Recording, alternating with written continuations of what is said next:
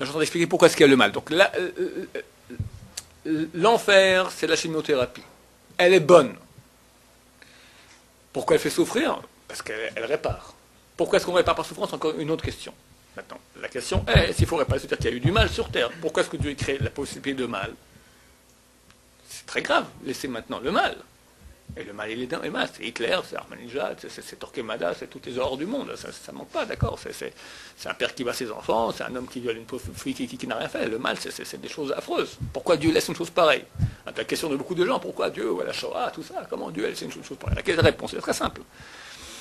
Dieu veut me donner, il est parfait.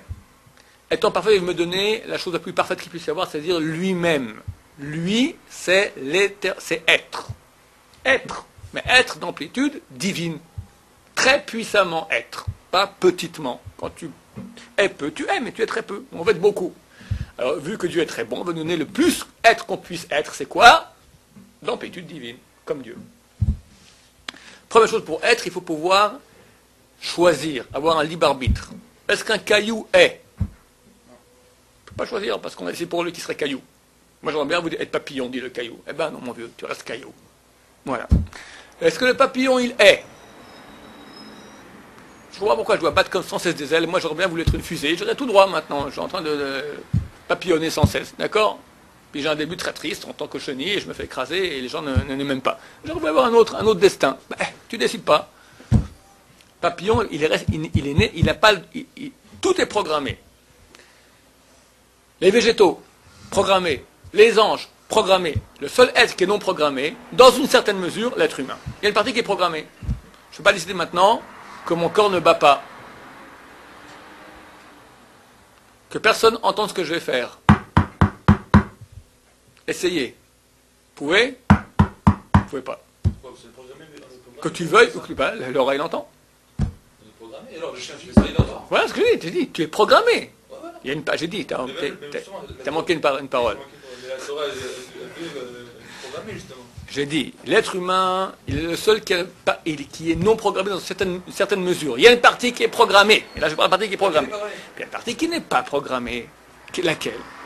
Alors, c'est pas que tu as le choix maintenant, quand tu vas au bistrot, entre bière et jus de pomme. Ça, c'est pas programmé. Ça, c'est en fonction des pulsions programmées. Parce que Dieu a programmé que tu aurais un estomac de ce type-là, avec des pulsions de ce type-là, avec des envies de ce type-là, c'est pas toi qui décides, ça c'est ton corps, c'est inné. C'est partie de la partie innée qui, préfère le jus de pomme maintenant qu'à la bière. Tu as, vu une pub maintenant, quelque chose qui fait que malgré toi, c'est intéressant, c'est malgré toi, c'est-à-dire c'est pas toi, c'est ton corps. Tu décides maintenant le jus de pomme et pas la bière. D'accord? Ou le contraire. Alors, C'est qui ce toi? Le toi, c'est quand tu as un choix. Et tous les choix sont dans le domaine ce qui s'appelle la Torah. Torah, c'est ça dans lequel tu as du choix. Par exemple, maintenant, euh, tu as le jus de pomme. Tu as la bière, tu as envie de plus de bière que jus de pomme.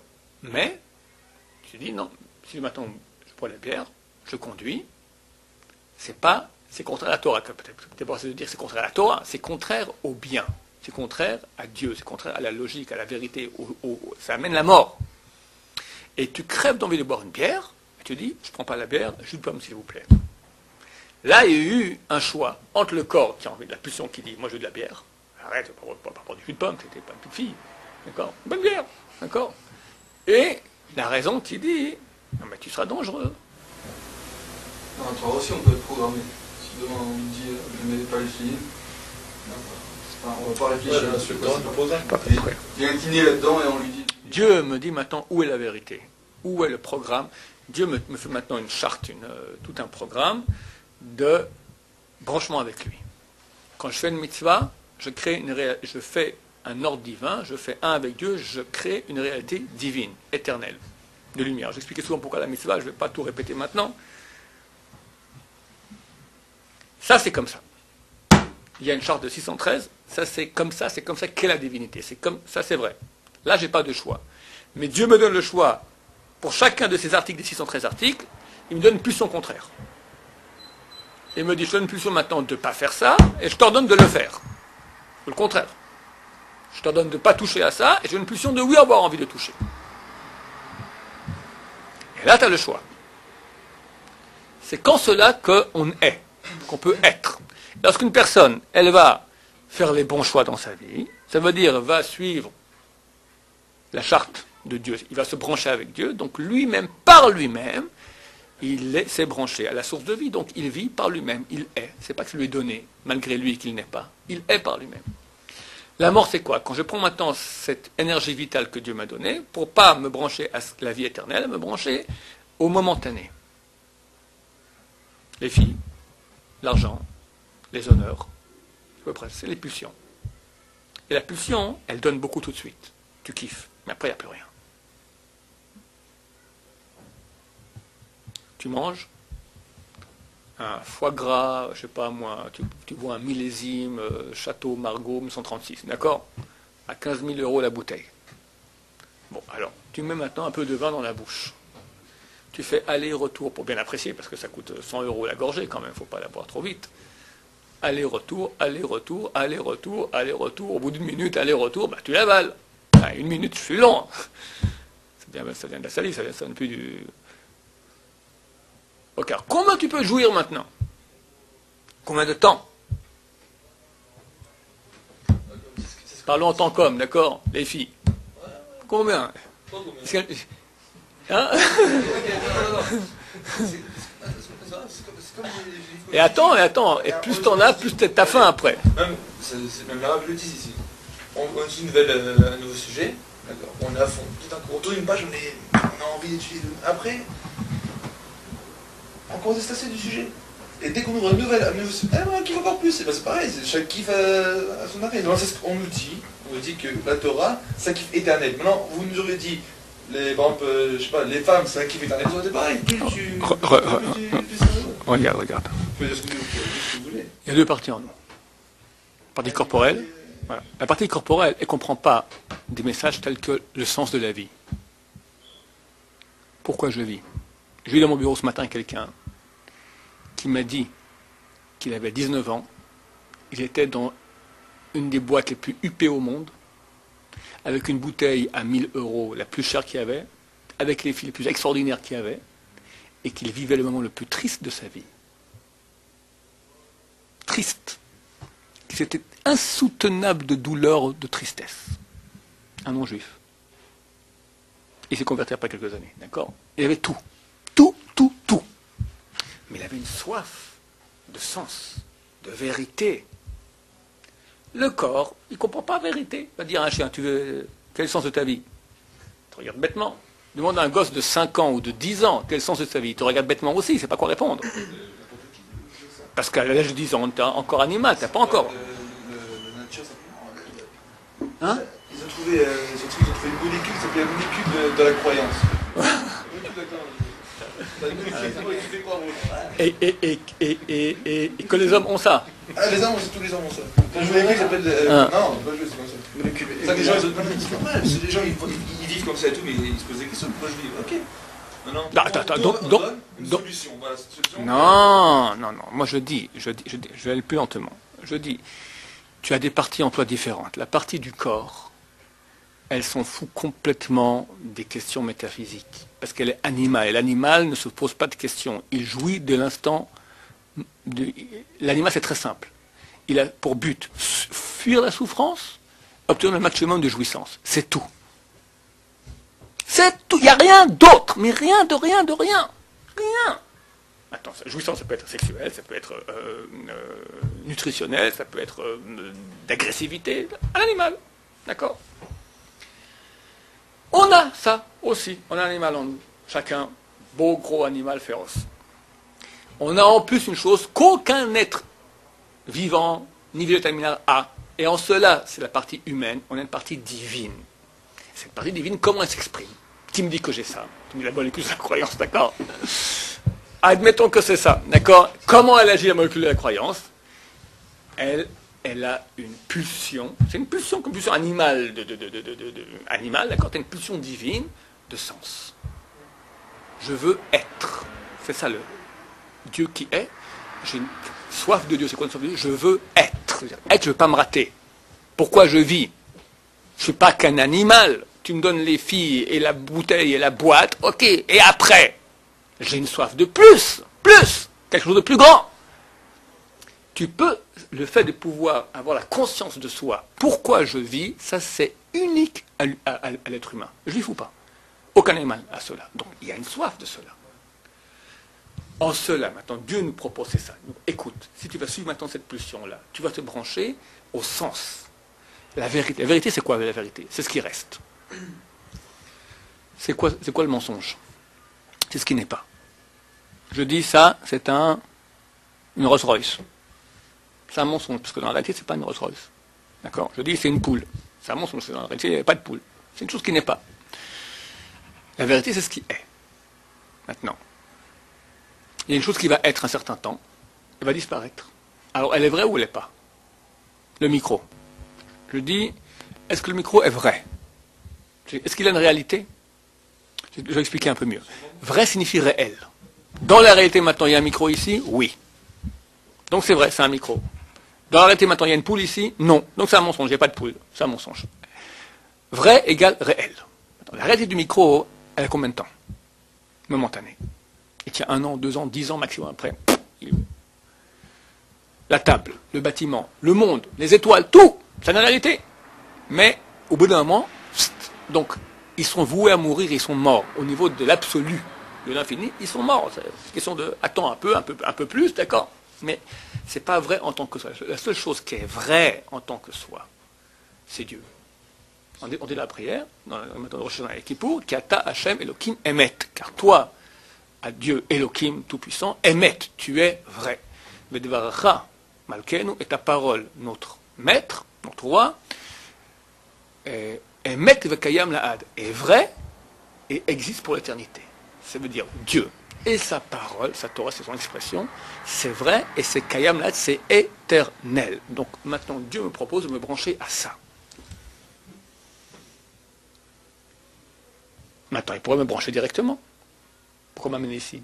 Je serais comme un ange. Les anges, sont branchés à Dieu. Mais ils ne sont pas, parce qu'ils n'ont pas le choix. Donc pour corser l'affaire, qu'est-ce qu'il fait? Pour que ce soit vraiment moi, que je puisse être par moi-même, alors qu'il me donne la pulsion animale, la pulsion divine. Et il donne l'animal 13 ans avant le divin. L'animal qui a 13 ans, 15 ans, 20 ans. Aujourd'hui, au moins jusqu'à 18 ans, terrestre animal, d'accord? Après, lentement, on va poser quelques petites questions, comment on se réveille. C'est rare les gens qui font toujours à l'âge de 12 ans. Ça arrive, mais c'est rare. 16, 18, 20. Là, on commence un peu à avoir un peu de plomb dans la tête, du plomb dans la tête, un peu de Dieu dans la tête. Et on se dit, ok, alors pourquoi, à quoi ça sert tout ça? J'ai essayé, j'ai essayé, mais je sens un besoin plus grand. Et ça se réveille. Mais tu as des choix. Arrêtez les filles. Alors, je veux bien, mais pas ça.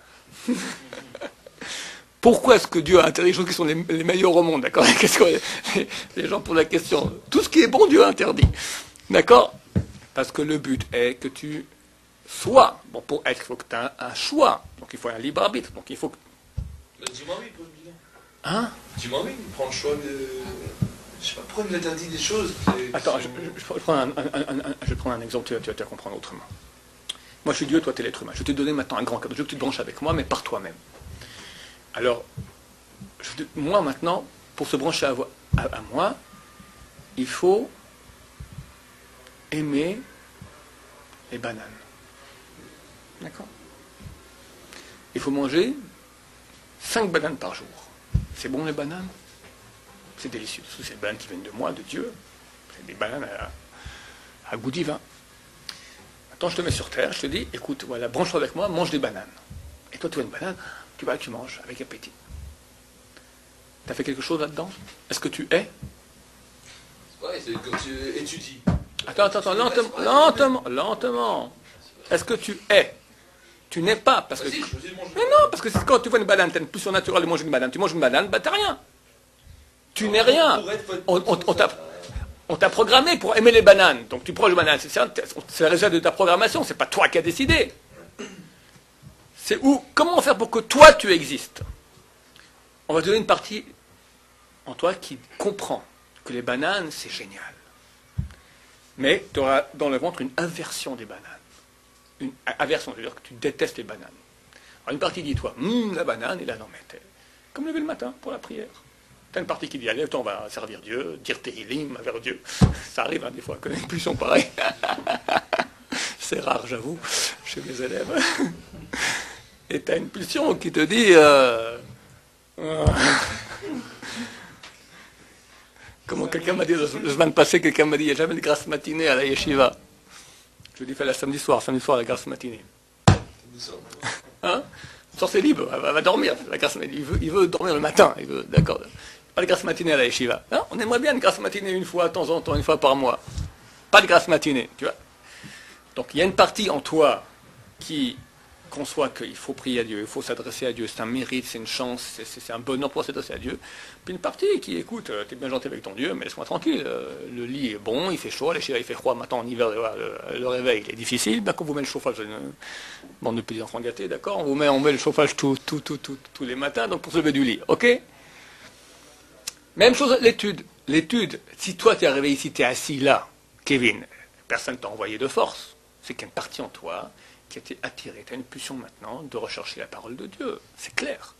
Mais tu as une partie corporelle qui dit écoute, maintenant, moi, pendant deux heures, on me s'asseoir sur un texte écrit par 2000 ans qui prend un, détail d'un truc, un, habit, deux personnes. Ils sont... Ok. Euh, ah, c'est aussi un kiff. Ok. Ah, il y, a une partie, il y a une partie de kiff et une partie qui est dure. Donc, de nouveau, c'est ça. Euh, donc, c'est normal pour chaque page, maintenant, qu'on veut te donner un mérite d'être, on te donne une pulsion contraire qui ne te donne pas envie d'étudier. Le Rab Hazan m'a raconté que son père, son père était très proche du Stapler. Stapler, c'était un des plus grands rabbins de la génération passée. Il est décédé environ il y a 20 ans, 25 ans. C'était un, Tu rentrais, j'ai eu la chance de rentrer le voir. C'est le père du Rab Chaim Kanevski, d'accord? Euh, Un des grands rabbins de cette génération. Tu rentrais dans le Saint des Saints. C'était un, un, un, séraphin, un ange. C'était un ange terrible. C'était très, très. un truc. Il a dit au père du Rab Hazan, il lui a dit tu me suspectes pas, tu me suspectes pas d'être un menteur. Moi? Je crois que vous êtes un menteur. De grand génération, tu ne penses pas que je suis un menteur? Je te garantis que chaque fois que je me mets étudier le matin, pendant une demi-heure, j'ai une bataille terrible. C'est affreux. J'ai envie de vomir. Je ne supporte pas. Et après, c'est fantastiquement doux et bon. Il y a une guerre c'est facile, il y a une guerre. Un type de ce niveau-là, il se bat, c'est gagner une guerre. Tu veux gagner toi la Maba comme pour rien? On peut te donner tout en cadeau, tout facile. Alors tu arrives au Maba, qu'est-ce que tu as fait? Au Maba, c'est être. Qu'est-ce que tu as été? Qu'est-ce que tu as fait? Toi, tu as fait. Pas qu'on t'a fait faire, on t'a donné, on t'a donné envie. Ok, c'est pas toi, on t'a donné envie. Bah, t'as pris, t'as mangé. Alors qu'est-ce que tu es, toi? Minuscule. Il y a des gens qui font vois par deux coups, il a une vision, il a vu un avis, il est son grand-père, sa grand-mère le dit, il va aller Shiva. Bon, il vient, mais c'est un nul. Parce qu'on l'a obligé, après avec un coup de pied, on l'a envoyé à la yeshiva, d'accord? Puis un autre s'est battu, s'est pas, tac, les parents ne veulent pas. Il le fait par lui-même. Pourquoi c'est si dur Mais il a du mérite pour chaque souffrance. C'est la mérite. Pourquoi souffrance C'est quoi souffrance? Souffrance, c'est un effort. Un gros effort, on l'appelle souffrance. Un petit effort, on l'appelle effort. Effort, c'est toi qui agis, parce que tu as une pulsion de rien faire, et tu vas, tu, te déplaces. Donc il y a un effort, c'est une souffrance. C'est comme ça que tu es. Maintenant, plusieurs souffrances. Tu peux la, faire souffrance, comme je lève le matin ici, là, avec un œil comme ça, où tu peux, par amour de Dieu. Et l'amour de Dieu, c'est comme l'amour d'une femme, Kevin. Tu te balades avec ta fiancée, je raconte souvent ces histoires-là. Et tu l'aimes beaucoup, elle t'aime beaucoup, et tout à coup, elle dit Oh, et au loin comme ça, on voit sur une colline, des coquelicots. Je raconté ça déjà souvent. Des coquelicots. Ah, qu'est-ce que c'est beau Tadam, tadam, tadam. Alors, toi, toi, tu te retournes, tu vois ici maintenant, magasin de fleurs, coquelicot, bouquet de coquelicot, 2,50 euros. Et tu as des beaux coquelicots. Tu vas acheter un bouquet, t'es un nul si tu fais ça. Elle serait contente, ça, t'as fait une mitzvah. Ne bouge pas, chérie. Quoi? Ne bouge pas, je reviens tout de suite. Mais où tu vas? Ne bouge pas. Et tu te mets à courir.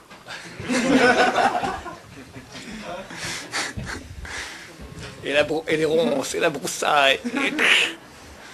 Et, après une heure, tu reviens, tout, tout déchiré, sanguinolent. Chérie, le bouquet de coquelicot. Alors, qu'est-ce qui est plus facile?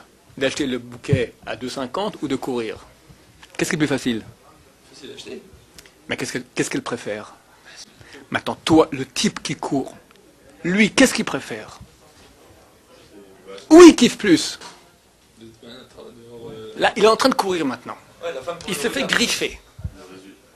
Le résultat Et quand il court, comment il est Il aurait eu envie. Mais il- c'est extraordinaire. Chaque bond, c'est, il pense à elle, il l'aime, c'est un acte d'amour, c'est beau, il, il vibre. 40 ans plus tard, ils sont les deux dans leur rocking chair à la maison. Ah, Lui se souvient. Ah bon, il voit elle, tout ça. Mais il se souvient comment il a... Tu sais, ici en Israël, il y a beaucoup de gens, ou bien en France, les anciens combattants, ici, il y a beaucoup de gens qui, ont, ont fait l'armée, etc. Les moments, leur parlotte de leur vie, c'est ça. C'est les moments durs, c'est ça qui les a marqués, c'est ça où ils ont fait quelque chose pour. Il y avait un idéal, il y avait une patrie, ils ont fait... Aujourd'hui, bon, il n'y a plus grand-chose, mais à l'époque, des gens qui vivent que de ça, de ces deux, trois ans qui, qui sont donnés dans, dans leur vie. Le fait de courir maintenant, c'est une jouissance. Alors le corps, il souffre, mais lui, il est transporté. C'est- vibrant, c'est intense. Même tu fais ça aussi. Je vous raconte maintenant, tout le monde au cinéma. Tout le rail, leur- les histoires d'amour, c'est quoi Il va, Roméo et Juliette, c'est quoi? Le type, il va, il se bat pour elle. C'est beau, c'est- romantique. C'est quoi? Même avec Dieu. C'est une mission dure, ça. C'est un niveau, mais c'est pour un bachelor, c'est beaucoup plus facile. Parce que personne n'est venu ici par éducation, personne n'est venu ici par obligation. Donc l'amour de Dieu, vous l'avez déjà. Allez cultiver ça et servir Dieu par amour. Il n'y a pas de kiff plus grand sur terre. Il n'y a pas de kiff. Tu entends bien ce que je te dis? T'as pas de kiff plus grand sur terre que d'être fou, amoureux de Dieu, de t'investir pour